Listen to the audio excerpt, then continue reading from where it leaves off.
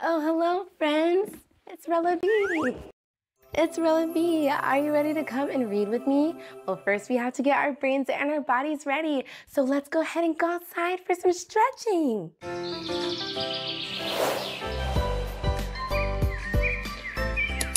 Hi, friends. It's Rella B. Are you ready for story time with me? All right. Well, if you're new here, first we have to get our brains and our bodies ready. Come on. Okay, so today we are just going to be getting our brains and bodies ready with some stretching. So we're gonna stretch our arms all the way up, up, reach for the sky, and then we're gonna stretch them out. How far wide can you reach? Whoa, that's pretty long arms, huh? Wiggle your fingertips, wiggle your fingertips, and then take those fingertips and touch your toes with straight legs. Can you do that? Can you touch your toes with straight legs? Oh, what if we bend our legs and touch our toes, touch our toes? Okay, now we're gonna get back up and we're going to stretch to the side. One arm over your head, stretch to the side. And then we're gonna do our other arm. Stretch to the side. It's almost like we're bending over like if we were a teapot, huh? I think the I'm a little teapot goes like this, but we're just taking our arm and stretching it over. Yes, stretch it over. Okay, and now we're going to stretch our legs. We're going to go out to the side and stretch stretch our leg out to the side.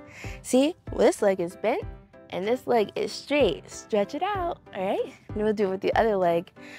Bend this leg and keep this one straight and stretch it out. Yeah, that's awesome. Okay, now let's try to do a squat. Squat.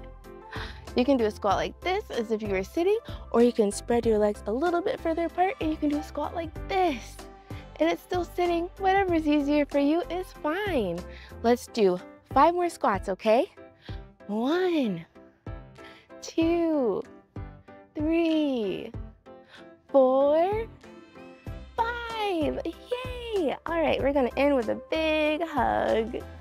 Give yourself a big hug. All right, now let's go inside for the story time. All right, friends, you know what time it is. It's time for Rella's Riddle. If you're new here, this is gonna be how it works. I'm gonna give you three hints and then I'm gonna give you 10 seconds to guess, okay? All right, hint number one. I have dark green, rough and bumpy skin. Do you know what I am? Hint number two. I am originally from Central America and I have a large pit inside of me. Ooh, do you know what I am?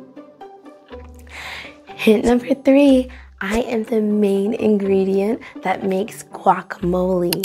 Mmm, I love guacamole. Do you know what I am? Here's a hint.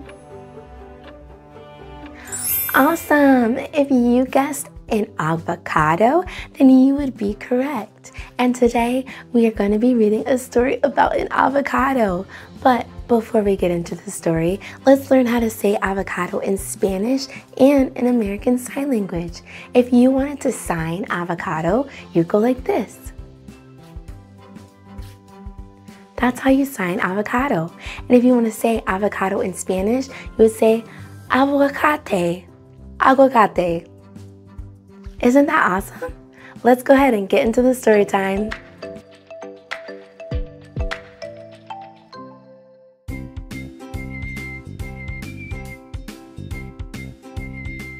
Oh my goodness, guys, today we're going to be reading Andie's Pit. Look, he's such a cute little avocado. It's by Sarai Ramos and Anahi Echeviera. Andie's Pit.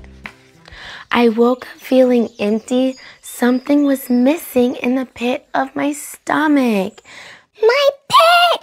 It's gone! I cried out so the whole world would hear. Who took my pit? Why? Andie, Andie the avocado, is that you? asked Louie Lime. Louie Lime, it's me, Andie Avocado, I cried. Why are you crying, Andie? asked Louie. My pit, it's gone. I need my pit. I said through tears. Listen, Andie, you may not have your pit, but you're still you, said Louie. Hey, let's see if Tony Tomato has anything to say about this. He's always on top of things, he said with enthusiasm. So Louie Lime led me down the granite counter to Tony Tomato, who was hanging out by the big red bull with his friends. Tony Tomato! exclaimed Louie Lime.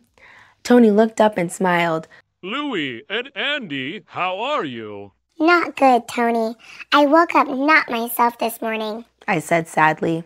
It's his pit. Someone has taken it. Louie Lime whispered to Tony Tomato. Tony took a look at Andie. You do look a bit different, but you saw that gorgeous green coloring, said Tony. Hey, what do you know? I still have my gorgeous green coloring. Then Tony Tomato said, Let's go see what Ollie Onion has to say about it. Ollie gets himself mixed up in a lot of things. So Louie, Tony, and I scooted over to Ollie's place. By the time I saw Ollie the onion, I was a mess. I don't like to cry in public, but Ollie has that effect on me.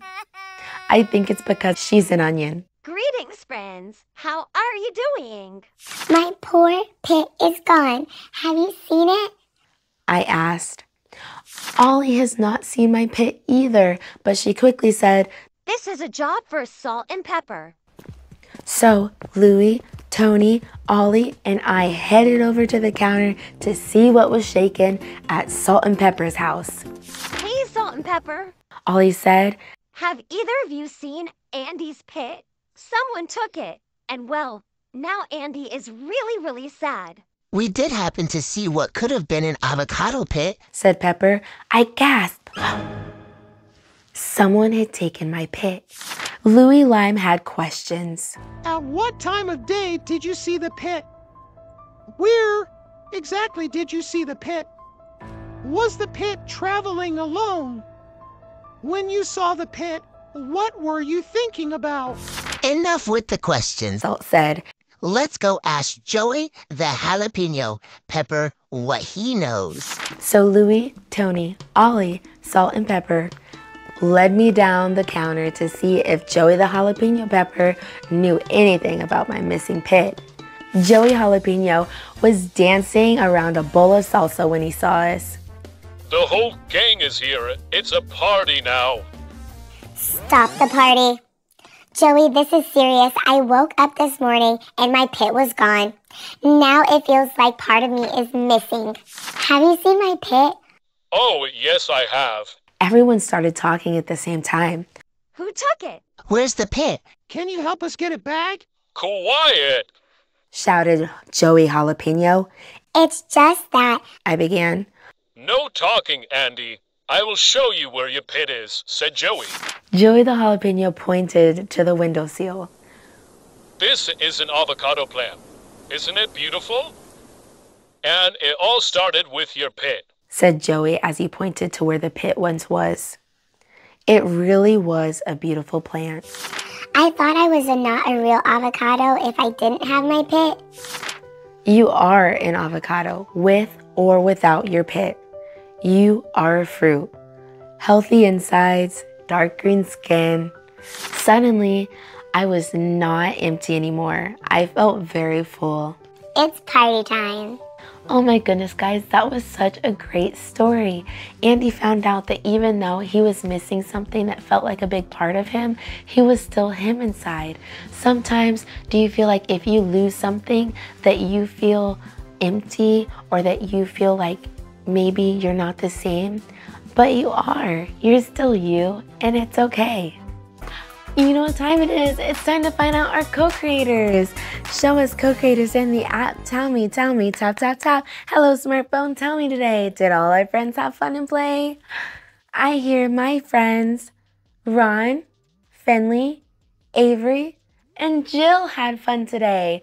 Won't you join me another day? Thank you so much for joining me on Reading with Rella B. I hope you had as much fun as I did today. You can find the book linked down below, and if you want to become a co-creator, you can check out the RellaBBooks.com Want to Participate tab. I also have a screen-free podcast if you would like to enjoy that on the go as well. Thanks again, and toodles!